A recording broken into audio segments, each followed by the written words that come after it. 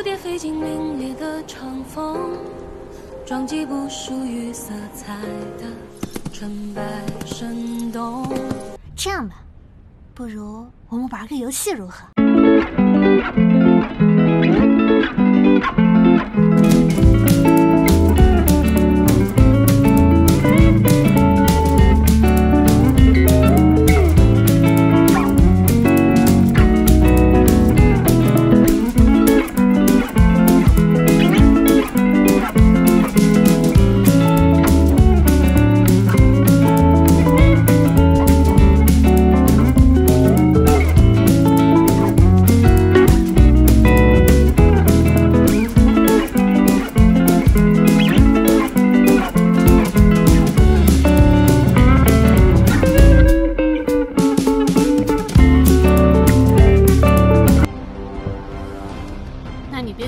花园里跪着。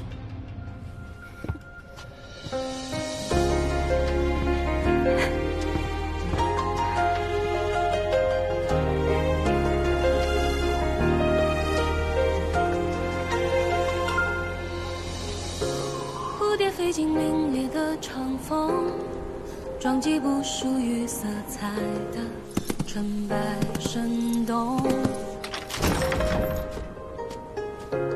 想填满你生命的蔷薇花藤，竭力盛开在空路也无人支撑。搁浅的船只默契着风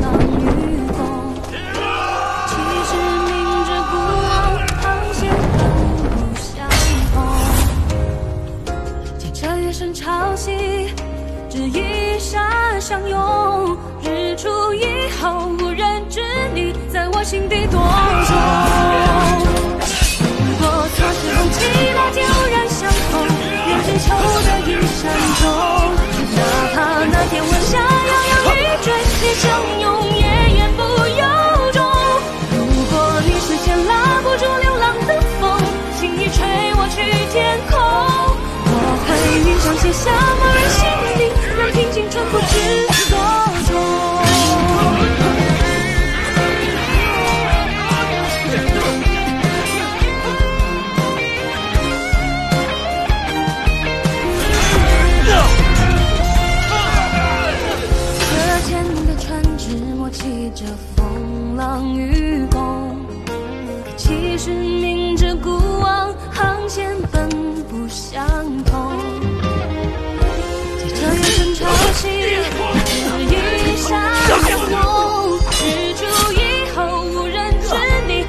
心底。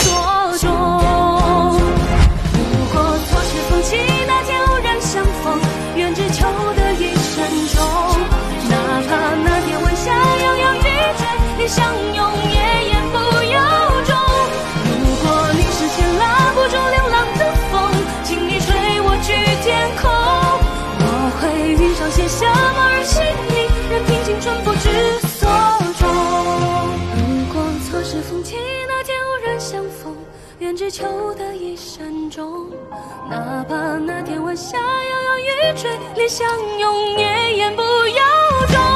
如果情深如愿，坠落也如惊鸿，眼泪奔。陛下大喜愚宫那边的计划成功了我身后竟人海霓虹。督公，我这一出一进的进牢房，还得挨几顿板子，您就不能让我少挨几顿？跟谁学的贫嘴？再贫嘴，给我送进去，等着掉脑袋。哎，我平时在牢房里可想偷工了。哎，臭丫头怎么没来？啊？奴才该死，奴才罪该万死。吉祥人呢？前日督公出府，护将军府传出消息，说即日就要问斩富贵儿公公。吉祥，吉祥他说，他去找雪晴郡主了。哎，督公，督公，督公心里是真的没富贵了。杜公，吉祥回来了，吉祥回来了，吉祥回来了，吉祥杜公，吉祥，你没事吧？吉祥，这是，这个是富贵让我交给你的。富贵人呢？将军带人包围了长生祠。你们要反呐！遗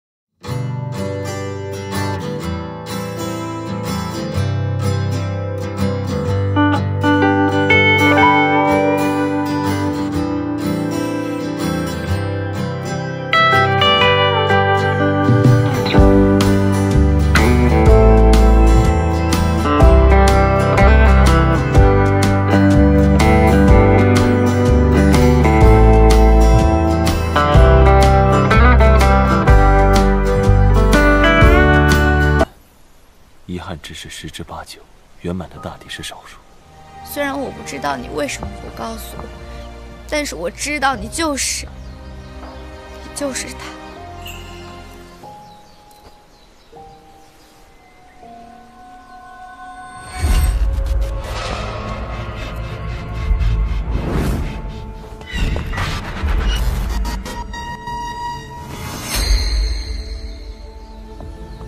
如果这些都是真的，那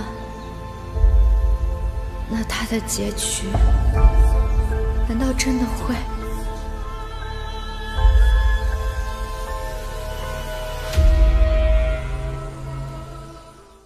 他为我和霍将军硬刚的样子好帅啊！他是不是也喜欢我呀？陛下和霍将军都已经认出他来了，就算我不把他握在手里，别人也势必会抢走。镇国公令人写字镇，做事从不留痕迹，出了云娇别无软肋。可他仿佛也逐渐成了无人的软肋。不问结局，只为真心。这是你许的愿望？人活一辈子呢，老天爷注定的是命运，但自己能决定的是真心。太像了，云娇和母后简直长得一模一样。这天底下，除了血亲，岂会有如此相像之人？对吧，慕容？我乃长生祠赫赫有名的小仙姑，我们仙姑吧，他既然能对未来之事预测几分，那对以往之事那记得肯定不那么清楚的，这叫有得必有失，您说是吧？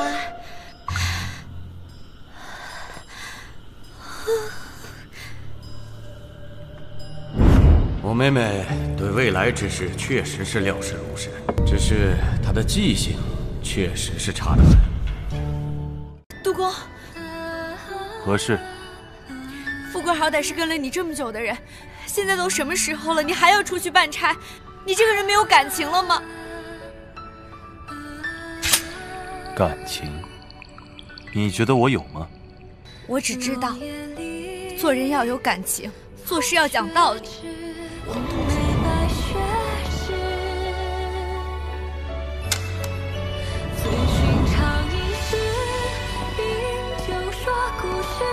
不要忘了，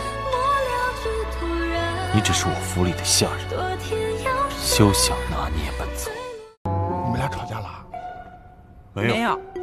嗯，